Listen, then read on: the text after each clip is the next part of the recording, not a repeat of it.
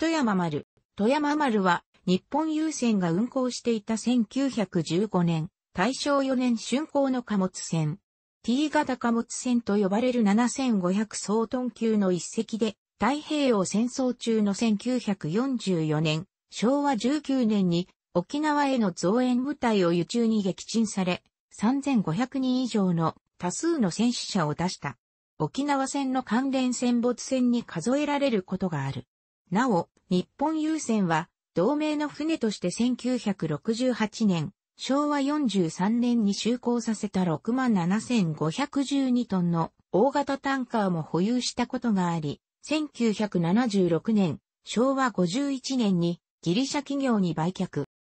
日本郵船は中古船が多数を占めていた貨物船体の改善のために1912年、明治45年、大正元年から1913年、大正2年にかけて、イギリスから貨物船を計4隻購入し、その運用実績を踏まえて7500総トン、11、ノット型の貨物船6隻の建造を決める。6隻のうち、津島丸と高田丸は、ラッセル造船所で、豊橋丸と徳山丸は、川崎造船所で建造された。そして、豊岡丸と共に、三菱長崎造船所で建造されたのが富山丸である。六隻は1915年、大正4年中に完成して、第一次世界大戦真っ只中の欧州航路などに就航して連合国向けの軍需品や食料輸送で成果を収めた。津島丸、富山丸などの第一陣に続いて建造された六隻と合わせ、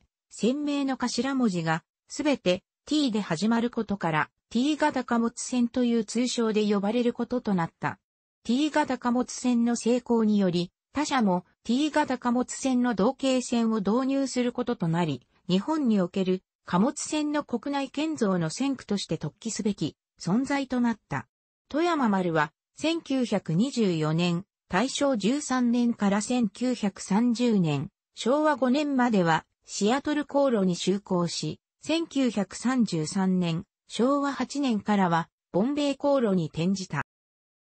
その頃、ライン方面に航路を開設していた、日本の船会社の一つに、南洋優船という会社があった。南洋優船は、神戸とスラバヤ間の命令航路を経営していたが、日本郵政や大阪商船などの大会社も、ライン方面に進出して激しい運賃競争が展開されていた。しかし、日本郵船、大阪商船、南洋郵船とオランダの船会社ジャワチャイナジャパンライン、JCL の4社間で運賃に関するカルテルを締結して競争は一旦は収まった。昭和時代に入り、石原博一郎率いる石原産業海運もライン航路に進出して競争は再び激しくなり、一旦は石原産業海運をカルテル内に引き入れて競争の沈静化を図ったが、石原産業海運が独断で新造船を建造するなどはを乱す行為がカルテルを揺るがせ、国際問題に発展してしまった。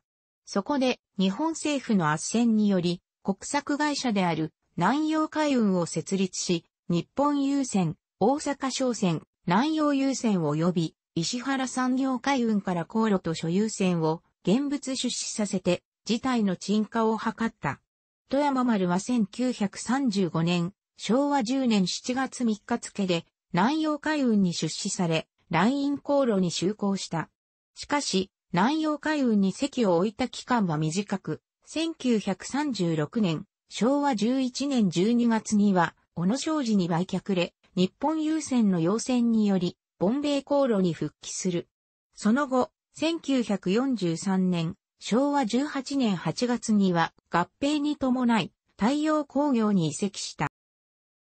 富山丸は1941年、昭和16年9月以降、陸軍徴用船として行動。ラモン湾上陸作戦を皮切りに、湘南、シンガポールやラバウルなど南方各地への輸送任務に服する。軍隊輸送船としては578坪にわたる、兵員収容区画と軍馬300頭分の収容能力を持っていた。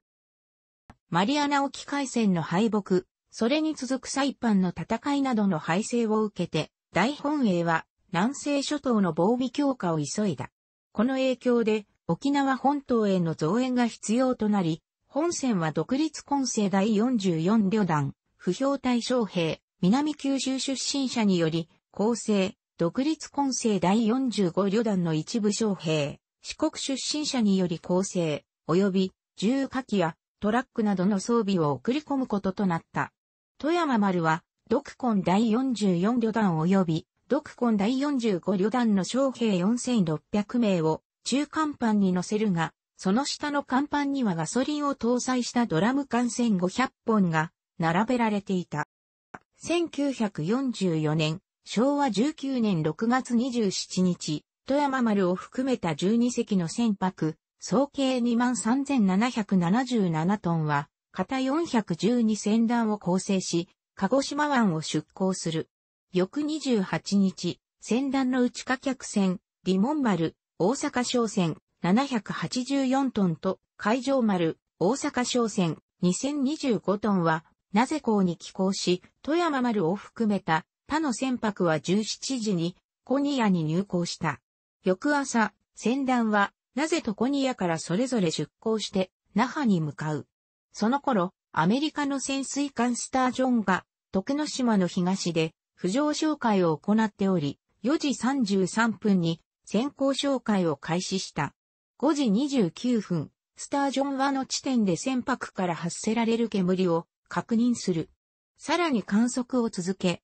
相手は1隻の大型輸送船、4隻の中型ないし、小型の輸送船、1隻の兵員輸送船、何隻かの小型船及び1隻の小型タンカーからなる輸送船団であり、漁船型の護衛艇がついているのを確認する。型412船団は、震度220度で航行中と判断され、スタージョンは、愛用丸級こと、富山丸に照準を定める。7時25分、スタージョンは、艦首発射管から富山丸に向けて、魚雷を4本発射、4本のうち3本が、富山丸の左舷選手と2番戦争及び4番戦争と、機関室の中間部に命中した。左舷選手と2番戦争に命中した魚雷の衝撃で、ガソリンが船内及び海上で発火して炎上した。止めを刺したのは4番戦争と機関室の中間部に命中した魚雷で、富山丸は船体を2つによっての徳之島南東12キロの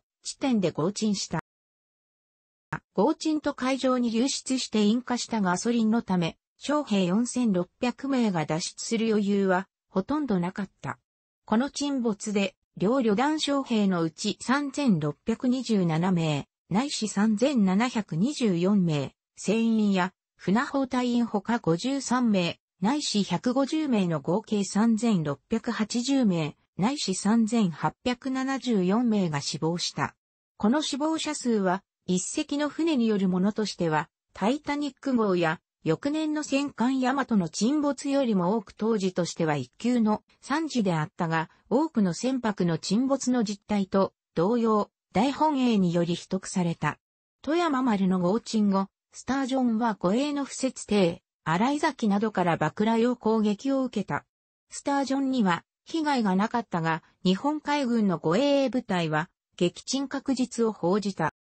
当時独根第44旅団をはじめとして、沖縄の現地部隊を統括する第32軍は大本営より飛行場の急速造成を指令されていたが、本線の沈没によって、旅団の生き残りは約700名、そのうち活動できる者約500名となり、トラックなども失われた。完成期日の7月末になっても、第32軍が担当した飛行場の建設は進まなかった。元船の海没による損害は、設営の遅延の原因の一つとなった。